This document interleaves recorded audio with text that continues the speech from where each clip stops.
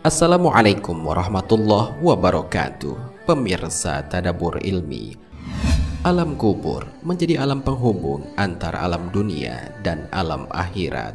Mereka yang sudah meninggal dari dunia akan berada di alam ini hingga datangnya hari kiamat hingga kemudian berpindah ke alam selanjutnya yaitu alam akhirat. Selama di alam kubur ini, manusia juga akan menerima ganjaran atas apa yang mereka perbuat selama hidup di dunia. Tak ada yang tahu pasti kecuali Allah, penghuni kubur mana yang mendapatkan rahmat dan mereka yang mendapatkan siksa.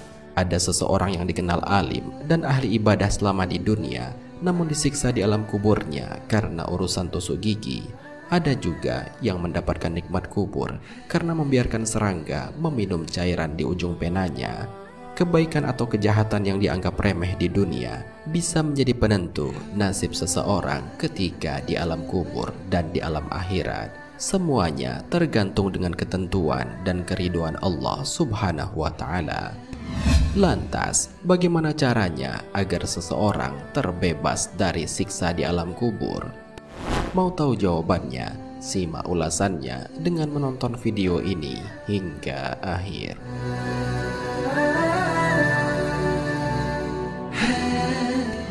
Sebelum lanjut, bagi kalian yang belum subscribe, silahkan untuk menekan tombol subscribe terlebih dahulu.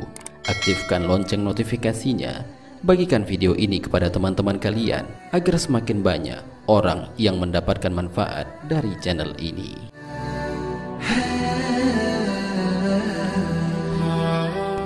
Pemirsa Tadabur Ilmi, sekecil apa pun perbuatan yang dilakukan selama hidup di dunia akan dibalas oleh Allah Subhanahu wa taala dengan balasan yang setimpal sebagaimana Allah Subhanahu wa taala berfirman maka barang siapa mengerjakan kebaikan seberat zarrah niscaya dia akan melihat balasannya. Dan barang siapa mengerjakan kejahatan seberat zarrah niscaya dia akan melihat balasannya Al-Quran Surat Al-Zalzalah ayat 7 sampai 8 setiap mayit setelah masuk di alam kubur, mereka akan mulai merasakan balasan dari setiap perbuatan yang mereka lakukan semasa di dunia. Jika banyak amal baiknya, maka ia di alam kubur akan mendapatkan nikmat. Akan tetapi, jika banyak amal buruknya, ia akan mendapatkan azab di dalamnya. Terkait dengan bagaimana cara agar seseorang terbebas dari siksa di alam kubur, Ibnu Qayyim al-Jauziyah dalam kitab Ar-Ruh mengemukakan dua jawaban, yaitu jawaban secara umum dan jawaban secara rinci.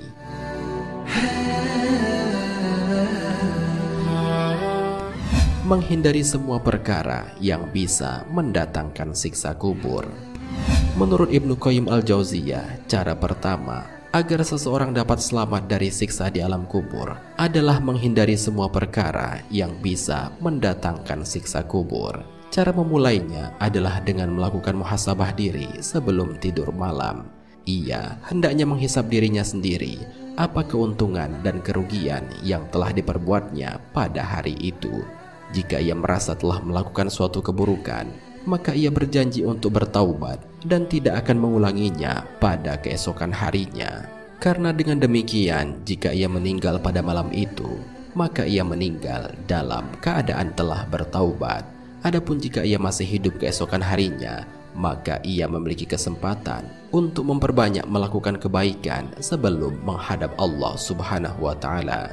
Itulah yang harus ia lakukan setiap hari sebelum tidurnya dan akan lebih baik lagi jika muhasabah diri tersebut disertai dengan berzikir kepada Allah Subhanahu wa taala. Cara ini merupakan jawaban secara umum dari Ibnu Qayyim tentang cara menyelamatkan diri dari siksa kubur.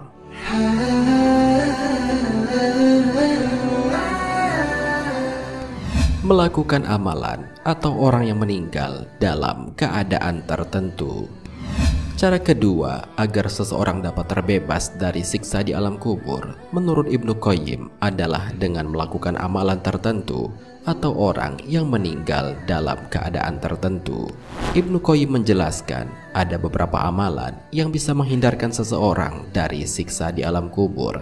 Salah satunya adalah dengan istiqomah membaca surat Al-Mulk.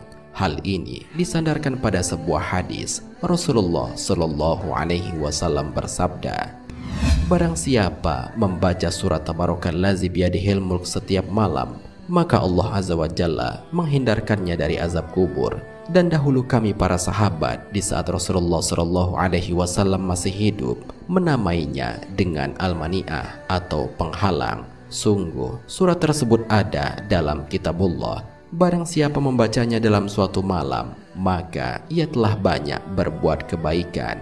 Hadis riwayat An-Nasai.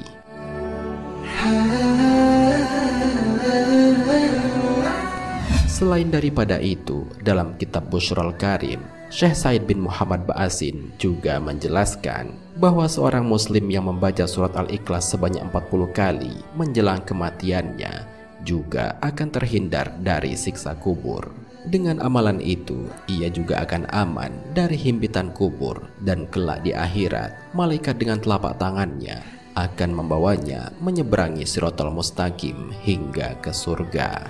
Meninggal dalam keadaan tertentu yang dapat menyebabkannya terbebas dari siksa kubur. Salah satunya adalah meninggal karena sakit perut Hal itu karena meninggal dalam keadaan seperti itu dianggap sebagai syahid dunia. Hal ini sebagaimana dijelaskan dalam sebuah hadis. Dari Abdullah bin Yasar beliau berkata, Aku duduk bersama Sulaiman bin Surad dan Khalid bin Urfutoh. Mereka menyebutkan ada seseorang yang meninggal karena sakit perut. Keduanya berkeinginan untuk menyaksikan jenazahnya maka salah satu dari keduanya berkata kepada yang lainnya, "Bukankah Rasulullah Shallallahu Alaihi Wasallam bersabda, siapa saja yang meninggal karena sakit perut, maka dia tidak akan disiksa di dalam kuburnya." Lalu yang lainnya berkata, "Betul apa yang kamu ucapkan." Hadis riwayat An-Nasai, At-Tirmizi, dan Ibnu Hibban.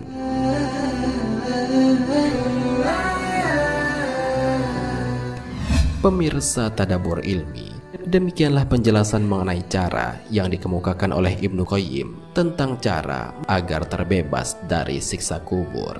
Semoga setiap kita yang menonton video ini diberikan kekuatan oleh Allah untuk meneladani hal itu sehingga atas izin Allah kita pun kelak ketika meninggal dapat terbebas dari siksa kubur. Di samping amalan-amalan di atas, ada beberapa amalan lain yang juga bisa menyelamatkan seseorang dari siksa di alam barzah. Di antaranya, zikir kepada Allah, solat, puasa di bulan Ramadan, haji dan umroh, sedekah, menjalin silaturahmi, melaksanakan amal ma'ruf nahi mungkar, berharap dan berprasangka baik kepada Allah dan lain sebagainya. Wallahu a'lam bisawab. Jika terdapat kesalahan dalam penyampaian ini, admin mohon maaf dan itu merupakan kesalahan dari admin sendiri. Jika ada benarnya, itu adalah dari Allah Subhanahu wa taala. Semoga bermanfaat. Wassalamualaikum warahmatullahi wabarakatuh.